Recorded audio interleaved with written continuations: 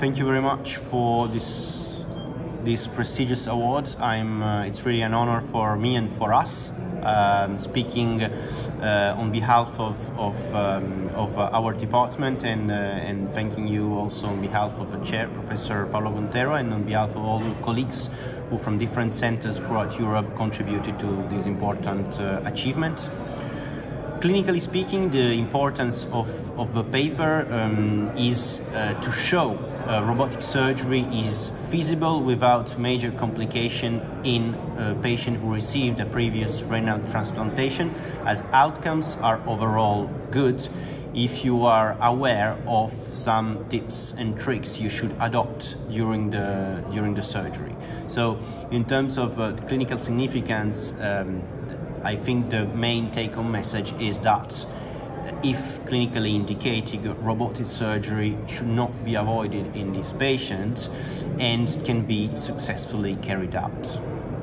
Do you mean to say, is there any work on cancer prostate and open kidney transplants? Do you mean to say that anyway robotic surgery would be a better option for patient than open kidney transplant if they happen to develop prostate cancer. You would mean open transplantation or yes, open open open, open transplantation? Um, it is likely that um, robotic surgery would have less fibrosis and less adherence uh, uh, if a transplant is performed robotically, but we cannot properly answer the question up to now, as the vast majority of transplants in our series were performed using an open uh, typical surgical technique. Indeed, this, uh, this is a very relevant question, and um, in the context of this multi-center collaboration, future multi-center collaboration, will indeed address um, address this point in terms of impact of previous surgery on on uh, on, on subsequent robotic prostatectomy. Currently, it remains a relevant question but unsolved issue. In your uh, paper, you have a sample of 42 patients. Could you briefly tell us your inclusion and exclusion criteria for this study? We excluded patients with uh, very high risk prostate cancer, meaning patient with metastatic disease, and we included only patients who were diagnosed with prostate cancer after having received renal transplantations with criteria suitable for undergoing surgery. So basically localized disease. Obviously for many regions you avoided doing lymphadenectomy on the side of transplant.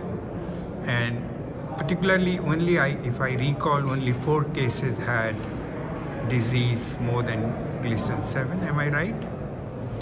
A minority of a patient had uh, had aggressive disease. Uh, this is also an important uh, an important finding, as um, there was a previous publication of years ago suggesting there was an increased risk uh, of prostate cancer and of aggressive prostate cancer in renal transplant recipients, which appears currently not to be confirmed by recent literature. Um, specifically speaking, we also performed a systematic review on the subject and a multi-center study is ongoing showing outcomes are not worse, do not seem worse compared to people not receiving a renal transplantation. Concerning lymphadenectomy, this is also an open question um, on whether it is useful or not to perform it, as on the side of a graft is indeed challenging in terms of surgical complexity, of adherence, and also considering the risk of, um, of graft-related injuries. Tell me one thing that we already know that because of these patients are immune suppressed. Uh, they have more chances of malignancy, not prostate cancer that I know of, but skin cancers and all. Do you, it's a very small pilot study, but do you have a feeling that it could also be because of the immunosuppression? Thank you very much. This is uh, another uh, central point of, uh, of our work. In this pilot study, the sample size was uh, relatively small and it was surgery centered. So um, it's difficult to get a feeling, but overall we have a cohort with more than 150 patients, and in this case, the feeling is actually the opposite. So whilst some some disease, notably skin cancers, which are the most frequent cancer in renal transplant recipients, and for example, bladder cancer may have a more aggressive course.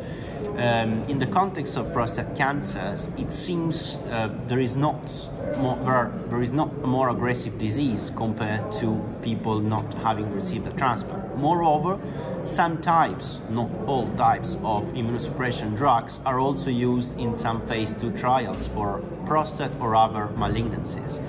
Interestingly, not in this paper, but in our in our cohort, we performed multivariate analysis to investigate whether certain immunosuppression regimen may be associated with a negative or eventually also a protective effect. But at the moment, with more or less 200 patients, we did not find any significant correlation. At the same time, not having found any significant correlation also means there is no association with an increased risk of disease progression. Coming back to the question of lymphadenectomy, at ipsilateral you have a very strong region that you don't want to muck around the kidneys stability by disturbing the the blood vessels and anastomosis and the ureter and the kidney itself.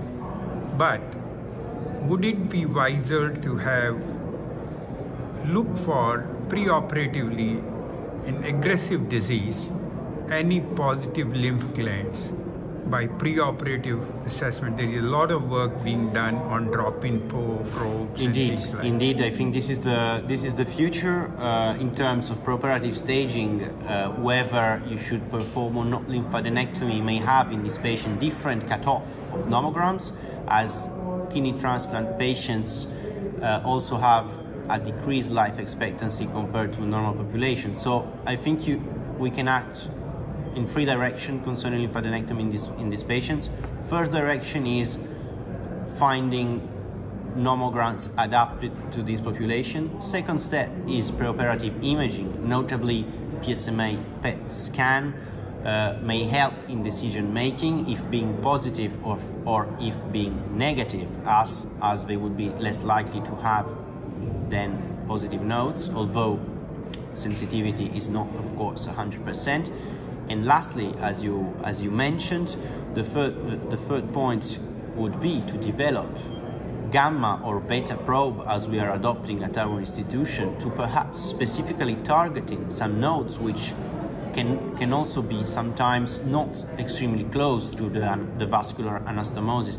And this would help in extremely decreasing the risk if you have to find a node which is three to four centimeters from a vascular anastomosis is of course different than having to, to get a node which is exactly on the vascular anastomosis.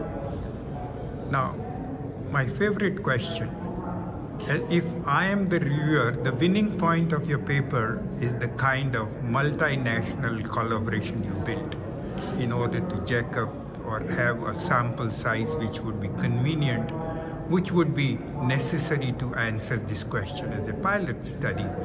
Tell me, how did you go about building this collaboration? This is much beyond a social collaboration. How did you go about building? And just for new researchers, can you tell how did you manage this collaboration? Thank you. What did you learn about different skill sets these people brought in? In other words, I want you to elaborate on this because the quality work is always going to be when there is a multi-institutional or multinational collaboration. Thank you very much for the for the question. This um, I'm going to answer the same answer the same answer I, I gave citing this paper uh, last year um, at last year Congress, as this paper was built within. Um, EU, EUSP also funded a fellowship, which was actually the fellowship I, I spent in, uh, in Paris. So part of this collaboration, especially in the French side, were built during my staying in, in Paris, namely the collaboration with um, Julien Branchereau group in Nantes and with uh, Professor Timsit's group in uh, Hôpital Pompidou in Paris. And um, some other collaborations uh, were with centers that were um, with which we were already collaborating, notably within the Young Academic Urologist Network.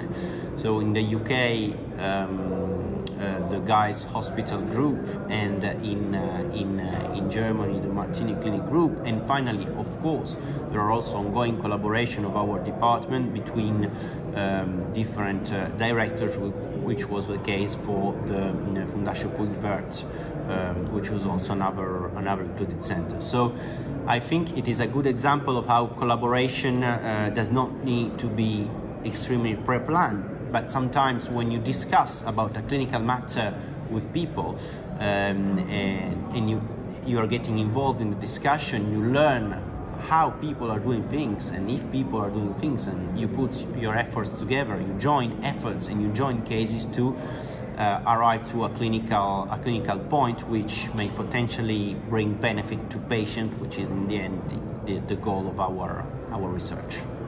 Any insights to anybody who has a situation like you have written about? Any tips you would like to give about surgical procedure if they happen to have a patient with renal transplant and is posted for radical prostatectomy.